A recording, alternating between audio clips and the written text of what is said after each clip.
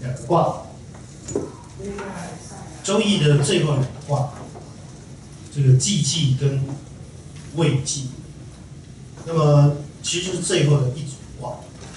那么周易永远是两个卦两个卦一起讲，在卦象上非错即纵的关系，所以在卦名上常常也都是有一种对比性啊。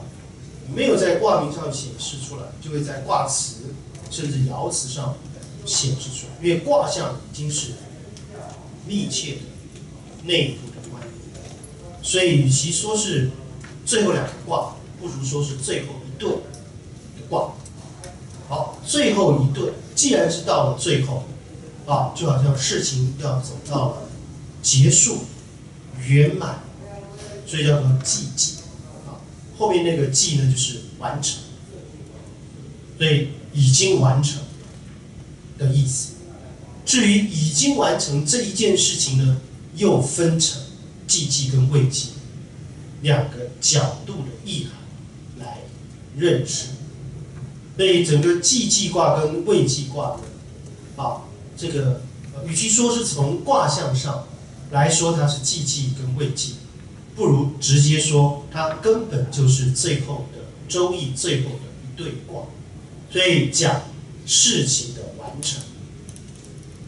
事情快要完成的时候呢，会有一些新的艰难；事情快要完成的时候呢，会有一些新的状况。抱持的事情快要完成了的心态呢，这可能就惹一些麻烦。所以有智慧的人呢，事情要完成的时候。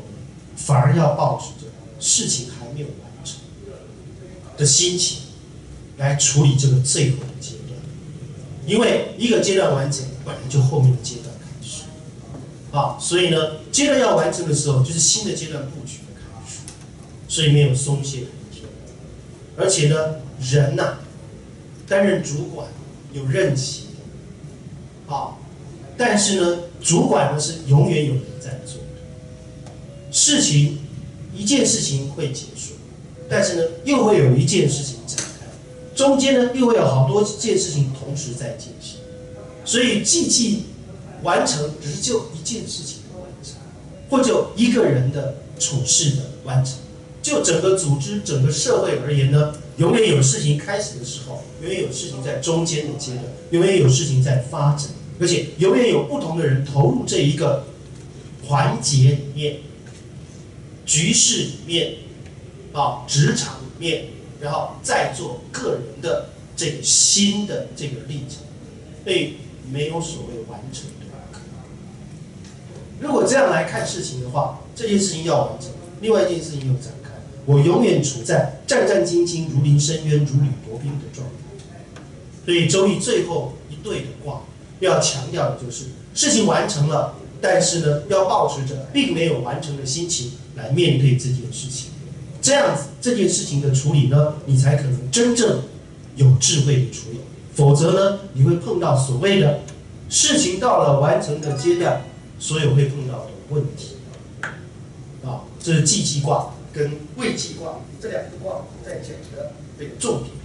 好，我们看它的卦象，既济卦的卦象呢，啊。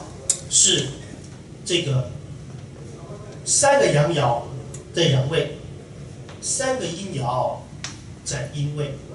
那么乾卦的卦象是六个阳，跟乾卦一对的是它的错卦，坤卦六个阴阳。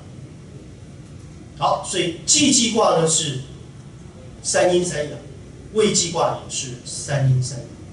既济卦的三阴三阳呢，阳爻居阳位，阴爻居阴位，真的是摆的刚刚好，完美，所以也放在周易的最后一对卦，所以说是事情，说是既济，然后呢，因为是事情完成，又因为是三阴三阳都摆在这个刚好的位置上，都是单位啊。所以呢，呃，就说了一个既济的道。既然大家都单位了，什么事情秩序都调整好，什么事情都已经有办法、有潜力、有秩序、有规范，根本就没有乱来的空间，啊，也没有什么事情需要你去大作为，所有的大的问题都被解决了，因为记记了，所以只剩下什么？全部怎么样？按部就班，按照规矩，只剩下例行的事。再严重的事，也都有办法，都有规矩，都有流程，都有经验，全部都是例行的事情。整个局势稳定下来。但即便如此呢？啊，因为时代在变，环境在变，人心就是会变。所以这个一切大势已定的环境呢，它反而过了一段时间，它自己会改。所以卦辞就是啊，这个讲，寂寂，亨小，力争，初吉中乱。寂寂卦，事情都完成，那是最美好的。啊，可是呢，这样的一个美好呢，指的是所有过去的格局有经验的事情都有处理的方案，所以是亨小，小事亨啊，守正得吉。目前绝对不会有大事，有大事都被解决，一定会有一段时间不算短的时间是不会有大事。可是呢，也一定会有一天会有新的大事出现，初吉中乱。如果在目前的情况下，你不把没事当有事，啊，你不把可能的危险放在心上，那就有一天。可能的危险变成真实的危险，啊，没事就会有事，而你猝不及防，你整个乱掉。好，这就是寂寂卦，啊的一个卦象得到的这个卦理，啊，主要不是卦象得卦理，啊，这个卦象是说明它为什么是寂寂。我认为主要是因为它是周易最后的一对卦，所以我们来谈完整，而正好借着。六个爻，三阴三阳都单位的卦象来说，这个所谓的完成，而不是上卦是这个坎为水，下卦是离为火，对没有？那火往上，啊，这个水往下，那水火不是互相灭掉对方吗？所以如果从上下卦来讲，寂气似乎很。所以它不是从上下过讲，它是从六阴呃六六个爻位的三阴三阳全部单位来讲落实了，就定位完成了。你不管跟我讲什么，好，我们都有做法可以来处理这件事情。也就是说，全部配套设措施都已经完成，啊，新的这个捷运路线开通试车。还有演练，全部都演练完，试车也是，试营运也都营运完，你就营运吧，不会有问题。这样，记记。那么，所以呢，事业当初当完成之时，啊，就是要注意的一个哲学的课题，就是这个世界完成，这个世界不只有这个世界，这个世界不只有这个世界，只是这个世界完成，就这样。啊，所以呢，环境还会改变，而且人也会变，所以要么我们去思考环境的改变，预谋对策；要么呢，我们另外让一批新的人来主政，啊，而我们这一批老的完成的人全部退下，让他们用全新的一个态度来迎接这个新的事业体，反而他们会战战兢兢。否则，老人的话呢，会失去了警戒心，初级中乱。你就是要把它当做它可能会乱掉的这样的一个情况来面对它啊。所以换转说，寂寂亨，小者亨也。意思是说，这个局面很好，不会有问题。但是指的是。不是大问题，都是小问题。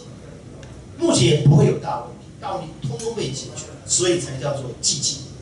所以剩下只是日常的例行的行为、例行的活动，都可以按部就班。你只要按部就班，就没事，就很好。啊，力争守正得吉，刚柔正而未当。刚柔正啊，就是阳爻、阴爻都就当为，刚柔正而未当。哎，初吉，柔得中，中止则乱，其道穷也。一开始是吉祥的啊，因为柔得中，六二在阴爻在中位，好，所以六二会是一个呃很好的这个。爻好，所以不用担心，事情都办得很好，柔得中也。但是任何环境都会经过一段时间而变化，所以终止则乱，其道穷也。最后呢，它就会乱掉了。啊，这样的一个呃情况呢，最后不会持久。为了防范事情快要完成的时候，为了防范。这个完成以后的美好的局面不能够持久，那这时候我们就要用一些智慧。这个智慧呢，可以说就是这个六个爻位，他们在处理，借由六个爻位的作为来处理事情快要完成的时候，对于未来的长久之计啊，能够得到长久的稳定，而有的六个不同。爻位的作用。好，大象传打个岔，水在火上，坎在上，离在下，这是既济的卦象。然后，君子以思患而预防之，没错，事情都完成了，没有问题了，但是我还得思考。啊，别的国家的发展的情况，地球的气候变迁的情况。别的经济体的科技发展的情况，会不会因为科技的发展而不知不觉改变了国防力量的强弱对比？啊，会不会因为经济形势的改变，不知不觉改变了国力强弱的对比的位阶？所以都要思患而预防，面对可能的不是现在明显，现在明显的全部被你干掉、解决掉了。一段短的时间内根本不可能有大问题，啊，但是呢，可能的，那么现在就要去思考，而给他一个预防。好，大象传就讲完了，我们现在进入事情快要完成的阶段，啊的这个六，如何因应这个新来的局面，为长治久安而做一些准备。初九，易其稳，如其尾，无咎。就是说，事情快要完成的时候，不要跑得太快，稍微放放慢脚步，知道势在必得，啊，知道就要马到成功。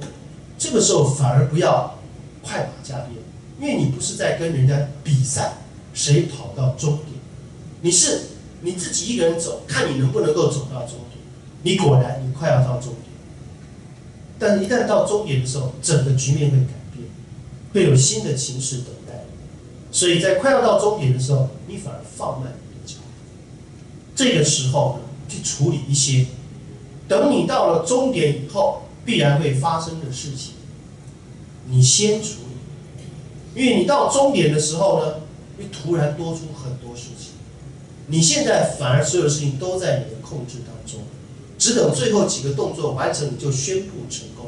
一旦宣布成功，你要很多应酬，很多什么事情，你反而没有时间去处理。那个时候会发生的新的问题，干脆现在先处理，放慢脚步，一其轮，如其尾，无咎。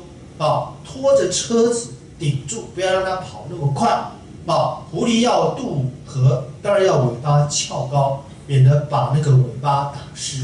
可是呢，它却把尾巴下垂，结果被水沾湿了。所以这个渡河渡河的不是很漂亮。其实他是故意不弄得那么漂亮的，不要那么快成功啊！这个时候各种制度已经建立的差不多了，并不是事业刚开始的阶段，所以没有什么会破坏的事情、不正常的事情会发生。那么这个时候呢，啊，初入此局的这个新人，看这个大势已定的江山风情，啊，我就要进入一个这个新的统治者集团等等这样子，他不敢大，他谦虚，啊，车子不敢开得太快，等等，他要看清楚状况，慢慢的认识这个新的环境，做好更多的准备。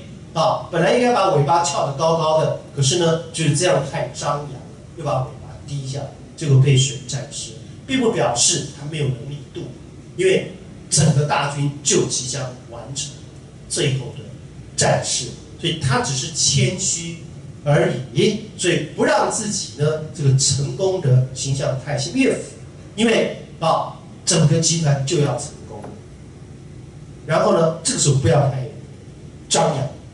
所以小象传说，初九自己拖住车架不敢急行，表示谦虚的意思，啊，事功将成，最后一里路不要太过急行。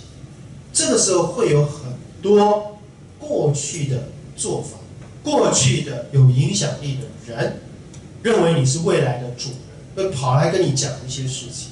那利用这个时机，能处理的先处理。所以放慢动作，一个一个解决，晚一点宣布胜利，这样反而会使得你在宣布胜利的那一刻，非常的心平气，不是太兴奋，免得有非常多措手不及的事情，反而一个不小心，一个不好的事件发生，把整个成功的形象呢抹灭、抹煞，所以呢就谨小慎微，啊。把所有不好的事情一个一个解决掉，慢慢来再说。好，六二，这事情一步一步发展，你最后就不是会完成，完全成功。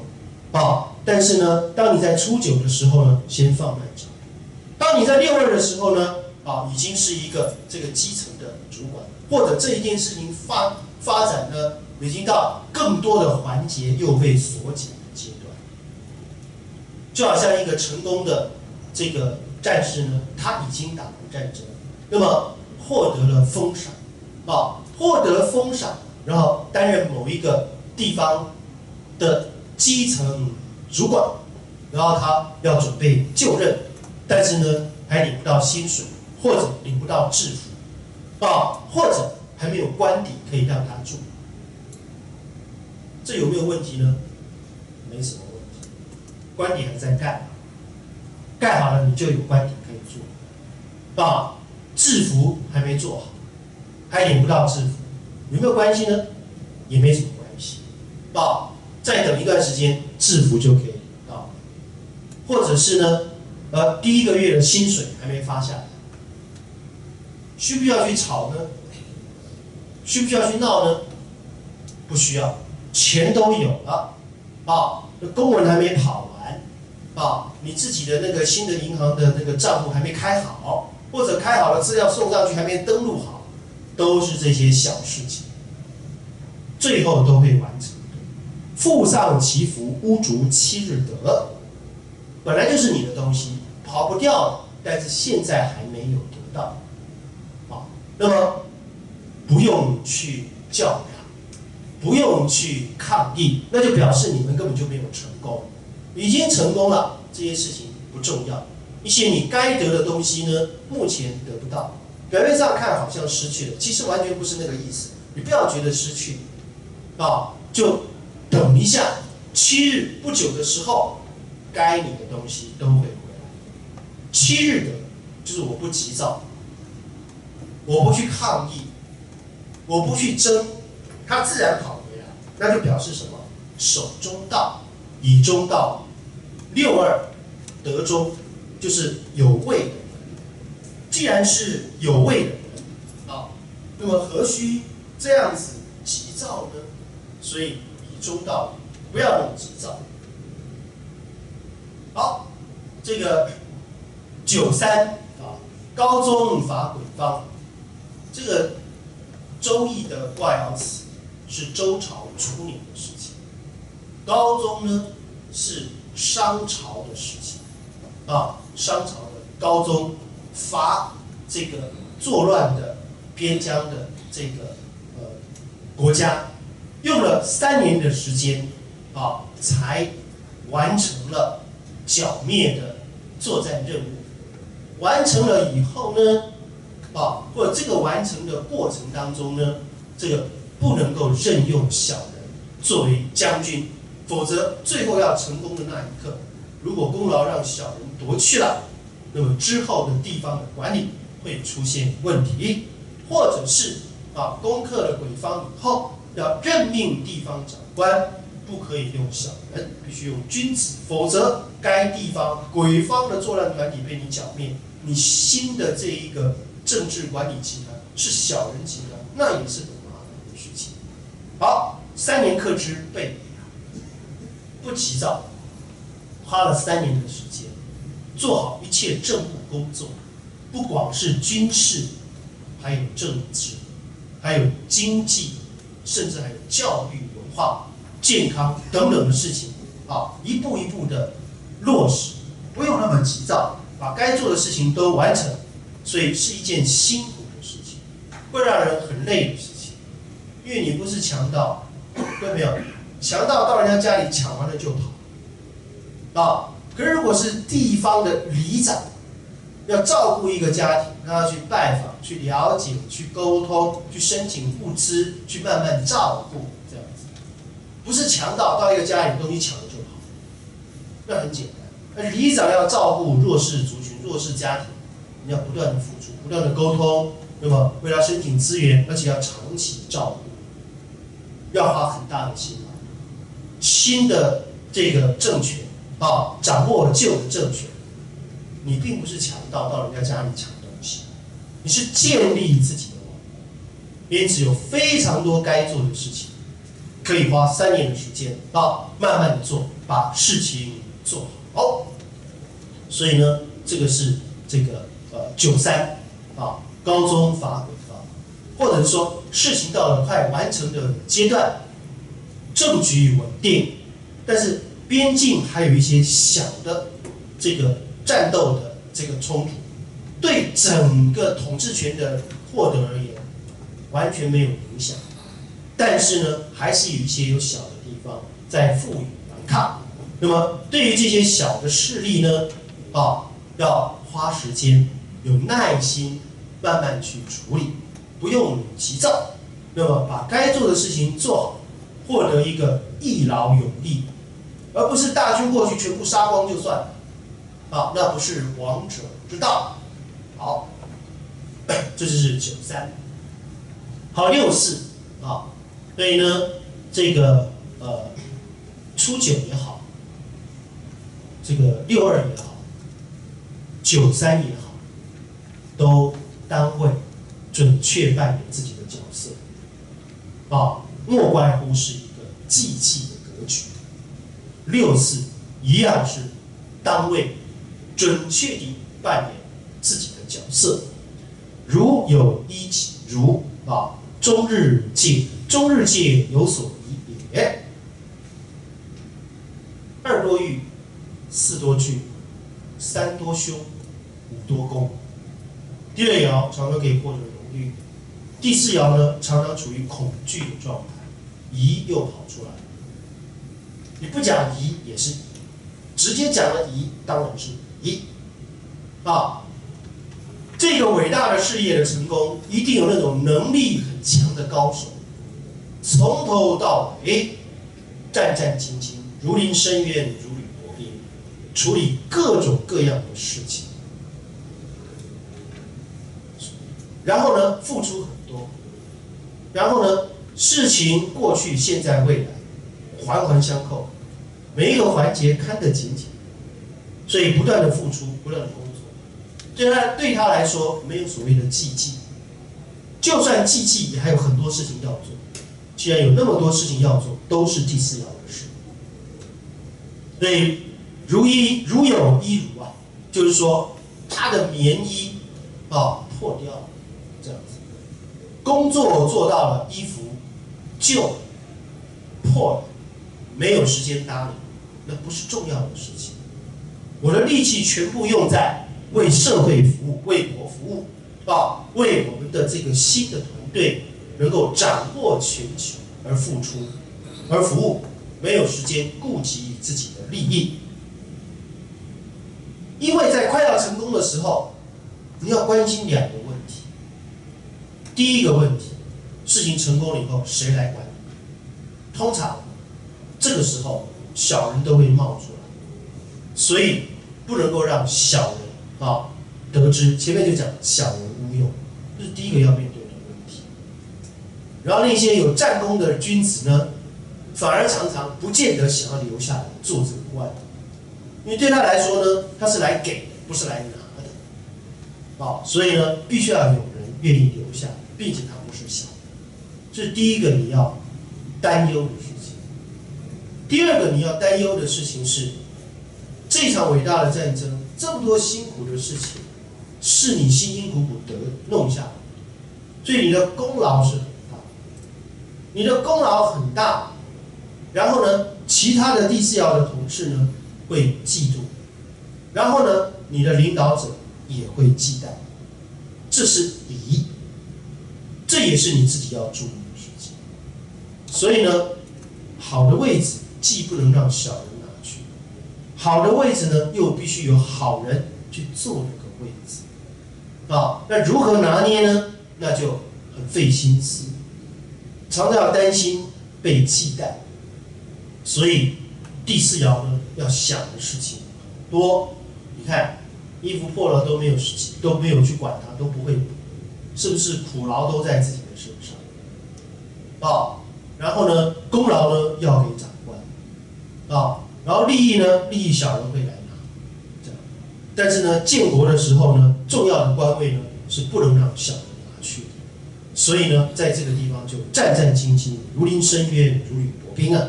啊，这就是这个第四爻在面对的问题。那菜根谭也有一句话：当与人同过，不当与人同工。同工则相济啊！对你跟你的老板一起打仗。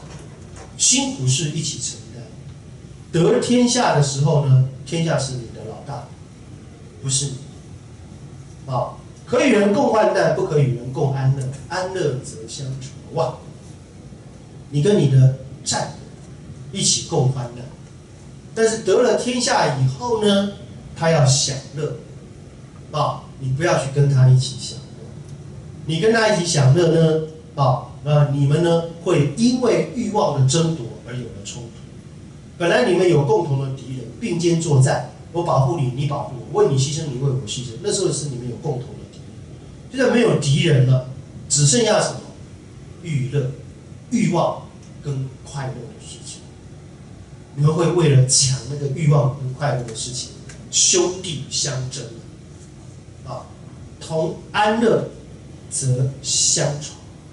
这就是第四爻在面对的，就是已经要成功了，胜利在望，最后几里路根本就是走得很安心的时候，你反而要担心这些事情。好，第五爻君位，也等于是祭祭的完成，事情已经办完，要祭祀谢天。东临沙流，不如西陵之月季，实受其福。天下已经底定了，正式宣布啊，得天下。那么举办祭一沙游祭，这个丰盛的祭一。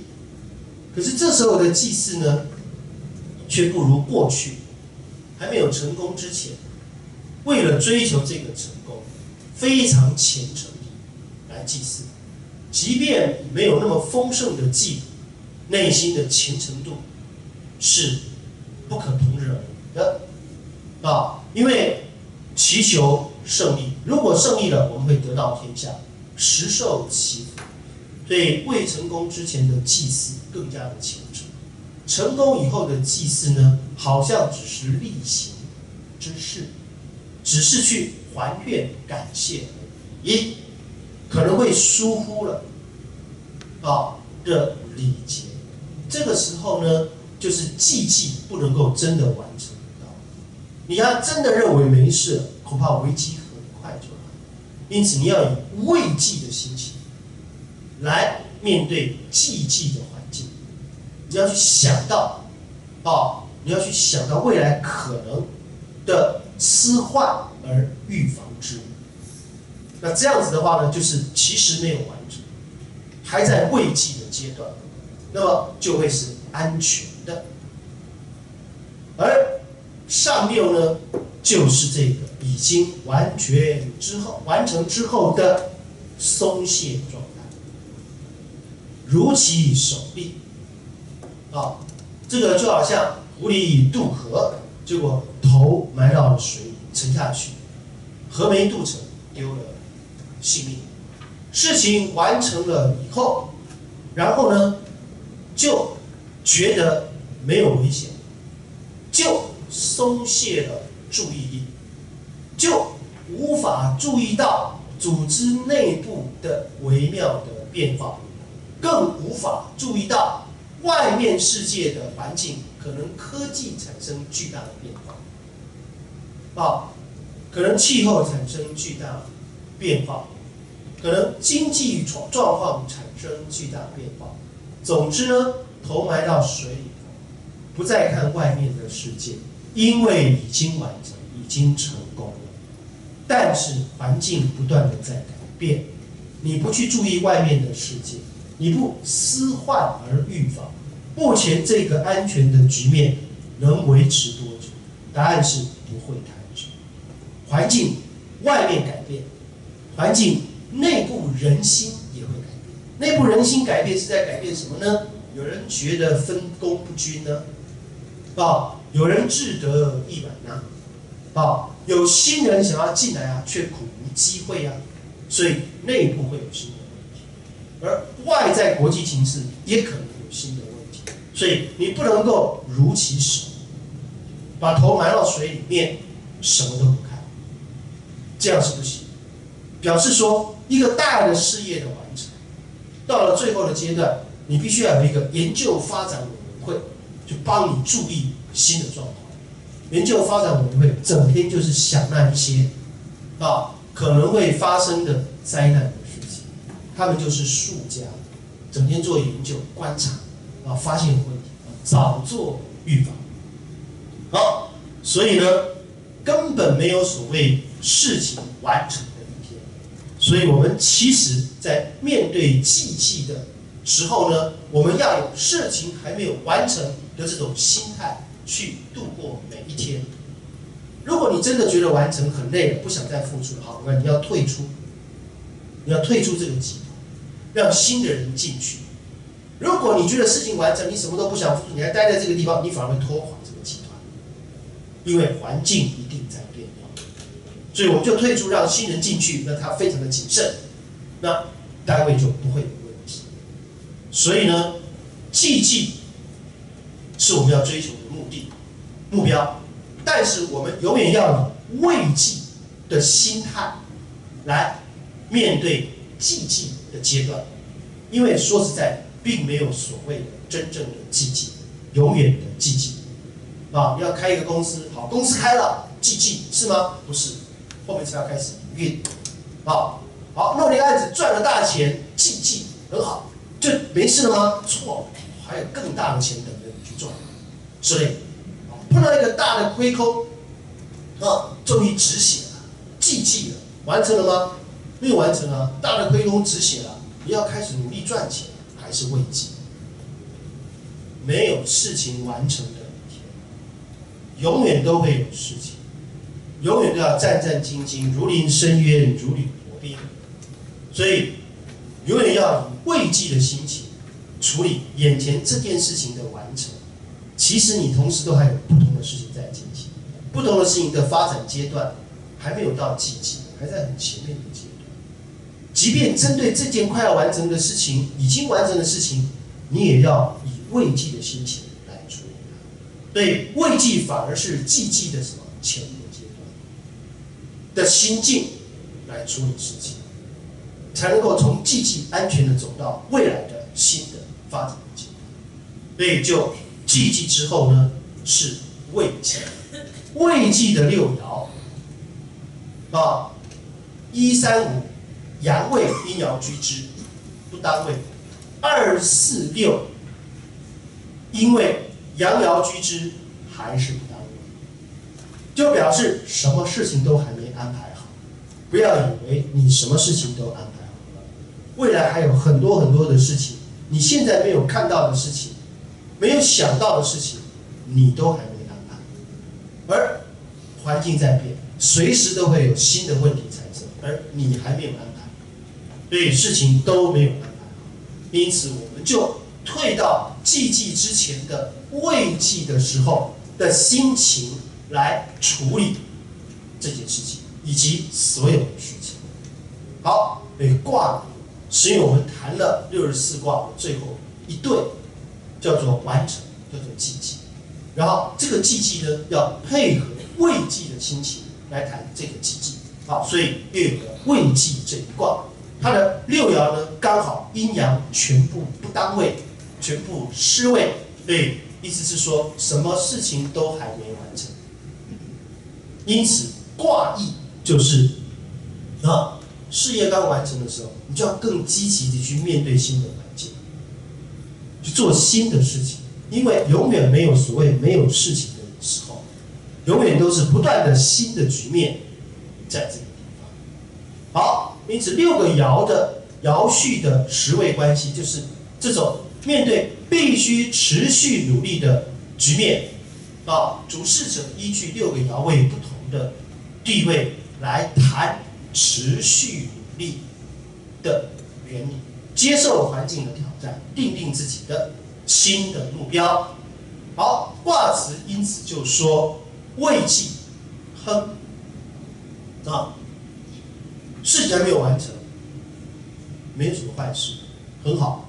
我们大家都在面对这件事，都在追求这件事，因为追求这件事，所以大家都在努力，所以非常好。小狐弃迹啊，小的狐狸呢还没有渡河完成，还在辛苦的渡河中间的阶段，把尾巴给打湿。这个时候呢，没有重大的收获，没有重大的利益，还是努力的阶段，这就是慰藉，就是我们还要继续努力。革命尚未成功，同志仍需努力，真的就是寂寂未寂啊！国父孙中山在民国十几年，已经革命成功了十几年，他说革命尚未成功，所以革命成功那一天是寂寂，可是事实历史的发展告诉告诉了他未寂，太多新的事情，所以永远要有未寂的心情。来处理寂寂的局面啊，无忧虑，我们没有得到什么重大的利益，还要继续努力。小象传呃大象的叫彖曰啊，彖传说未寂亨，因为柔得中啊，那这个柔得中呢是六五，得中一定是第五爻或第二爻。柔得中，那就是六，讲的是六，这个卦的六五，啊，这个卦的六五柔得中，啊，那就是一个柔顺的这个呃领导者，不是一个太强势的领导者，在带领整个的局势的发展，啊，谦虚柔顺的领导者。好，小狐气计未出中也，还没有。脱离险境，把尾巴打湿，没有什么好处，不续终也啊，还没有达到最后的阶段，虽不单位啊，刚柔应稳，这一句话也很有意思。不单位，未计卦六爻全部不单位，但是六爻上下全部相应。大家都还没有走到自己的终点，但是大家都心心相印，互相理解，互助合作，互相配合。啊，刚柔应哎，六个爻上下，一四二五三六，上下都是相应。我们看一下这个卦象就是，初六，但是呢九四，九二，但是六，六三，但是上。九，啊，所以上下卦该应的爻位全部阴阳相应，所以呢是大家可以配合的局面。